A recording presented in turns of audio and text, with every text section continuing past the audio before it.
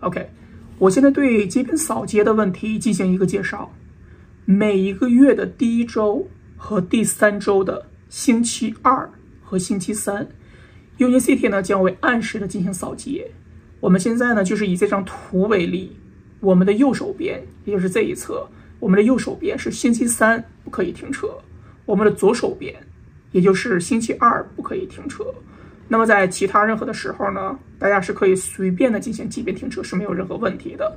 我为什么会介绍这个问题呢？是因为如果大家不按照这个规矩来的话，是有罚款的，并且这个罚款的数额不是特别低哦。所以说我还是建议大家需要注意一下扫街的时间。